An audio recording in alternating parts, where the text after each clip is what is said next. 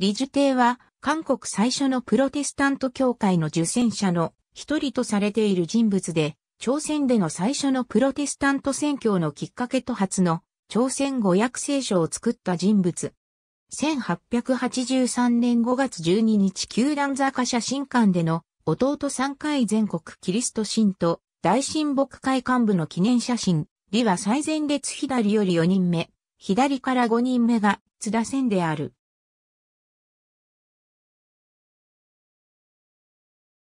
1842年李氏朝鮮の名門の家に生まれる。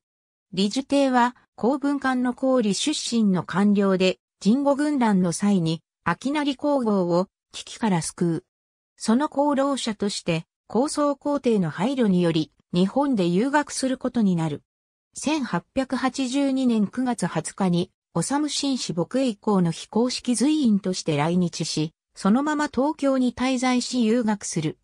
すぐに友人の農学者、アンソーシュの紹介で、12月に元幕臣でクリスチャンの津田仙を訪ねる。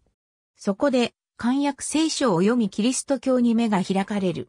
津田に誘われて、東京新栄橋教会のクリスマス礼拝に参加する。そして、米国宣教師、ジョージ・ウィリアム・ノックス、安川徹牧師に紹介されて、熊本バンドの長田時行牧師に聖書を学ぶ。また、メソジスト教会のロバート・エス・マクレイ宣教師とも信仰を結ぶ。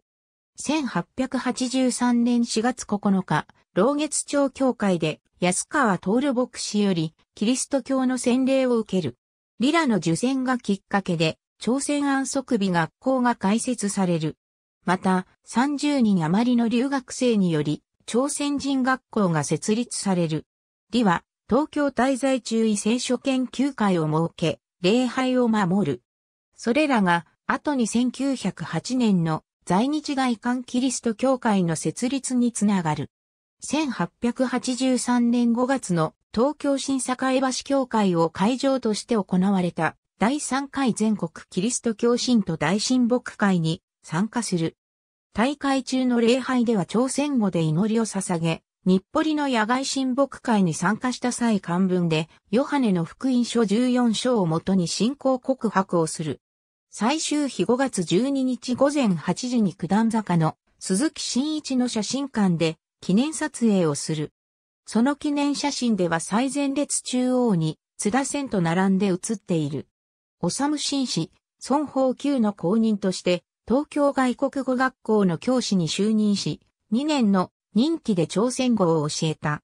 また、在日中に東京外国語学校の教科書、学習教科書を含めて漢文小説の日本復刊に参加するなどの著作活動も行う。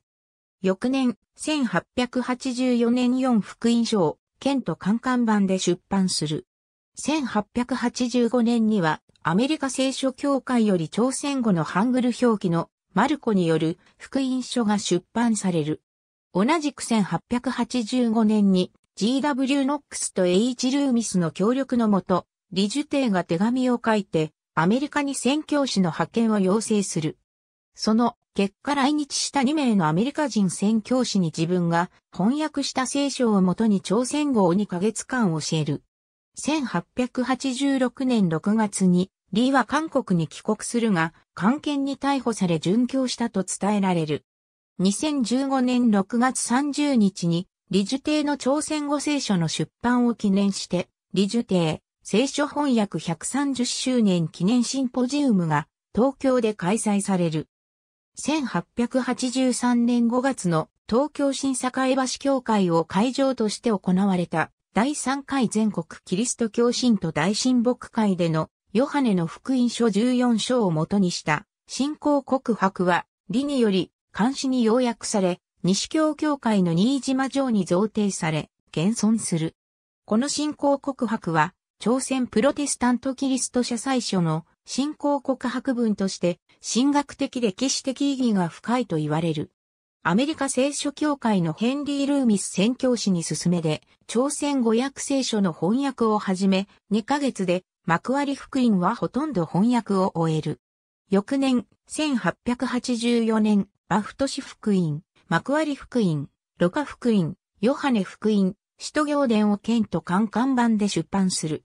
1885年にアメリカ聖書協会より朝鮮語のハングル表記の新訳バカ伝福音書限界が6000部出版される。これらはプロテスタント教会史における朝鮮語訳聖書の最初のものである。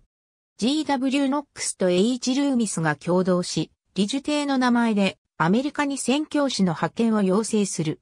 その要請に応じて、米国のメソジスト教会の H.G. アペンゼラーと、同じく長老派の H.G. アンダーウッドが1885年に来日する。李は2名に朝鮮語を教える。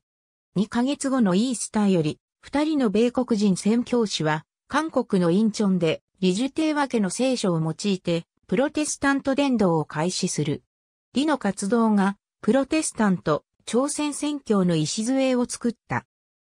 李氏朝鮮時代に、宮中の文書を管理して、王の諮問に応じる機関文章の構成を行う、高級官僚、ジョマッサトシ P6、日本キリスト教歴史大辞典110ページ、呉城代は、洗礼式をするときに、安川徹牧師とノックス牧師が共に行ったが、日本の記録によれば、安川徹が終点したと記され、宣教師たちの報告では、ノックス牧師から受選したと記されていると紹介している。5は、ノックス宣教師の役割を強調している。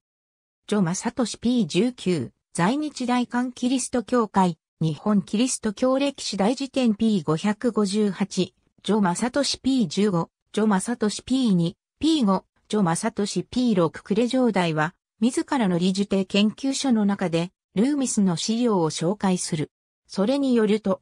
1886年5月帰国したが、帰国するや、稲や保守党に捕まって全身がズタズタに切られる刑罰に処刑されてしまった。とされている。